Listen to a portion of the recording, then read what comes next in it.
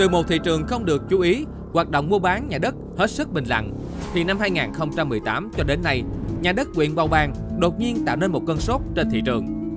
Các nhà đầu tư ồ ạt đổ về Bầu Bàng tìm kiếm cơ hội. Theo số liệu thống kê 5 năm trở lại đây, giá nhà đất huyện Bầu Bàng tăng trung bình từ 12 đến 20% mỗi năm, trên lệch đáng kể so với bảng giá nhà đất do Ủy ban Nhân dân tỉnh Bình Dương đưa ra. Nhiều điểm đất đắc địa giá có thể dao động từ 7 đến 12 triệu đồng một mét vuông, thậm chí lên đến 20 triệu đồng một mét vuông. Các điểm đất còn lại giá dao động từ 2 đến 6 triệu đồng một mét vuông. Dự đoán giá nhà đất huyện Bầu Bàng sẽ tiếp tục tăng mạnh trong giai đoạn 2020-2025. Năm 2020, nổi bật nhất là các hạng mục đất nền nhà phố, dự án đô thị, khu dân cư tại các xã Trừ Giang Thố và thị trấn La Nguyên do sự gia tăng nhanh cơ số của dân cư trong khu vực.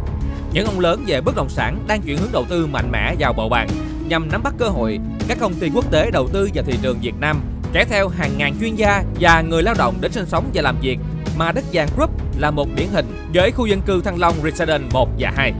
Thành công sau nhiều dự án trước đây, Thăng Long Residence 2 là dự án đầu tư trọng điểm của công ty trách nhiệm hữu hạn thương mại dịch vụ xây dựng phát triển địa ốc An Lạc Việt trong năm 2020. Dự án được phát triển và phân phối độc quyền bởi địa ốc đất vàng.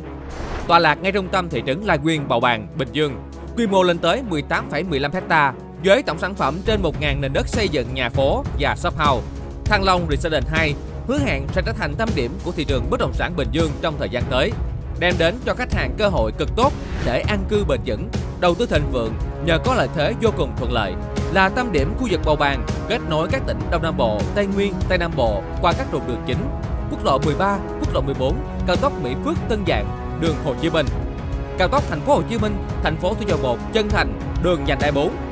Quy hoạch tuyến đường sắt xuyên Á từ Dĩ An đến Bình Dương đi theo hướng song song với quốc lộ 13 qua bầu bằng và tiếp giáp với ranh giới Campuchia tại cửa khẩu quốc tế Hoa Lư.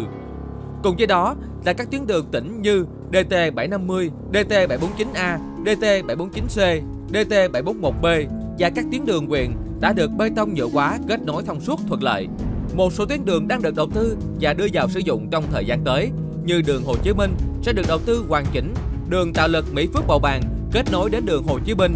đường DT741B nâng cấp mở rộng thành đường vành đai 5 với quy mô 6 làn xe, đường Bầu Bàng Phú Giáo Bắc Tân Nguyên kết nối với cảng Logistics Tân Nguyên.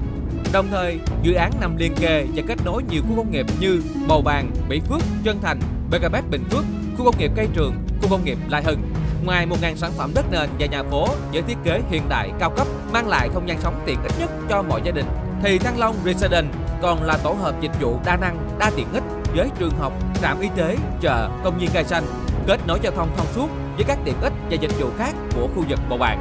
Đặc biệt, giá cả phù hợp với mức thu nhập và tài chính của nhiều đối tượng, từ thấp đến cao, sẽ đáp ứng mọi nhu cầu khách hàng mua, đầu tư hay để ở. Mọi chi tiết xin liên hệ địa ốc đất vàng.com.vn Hotline 1900 636 109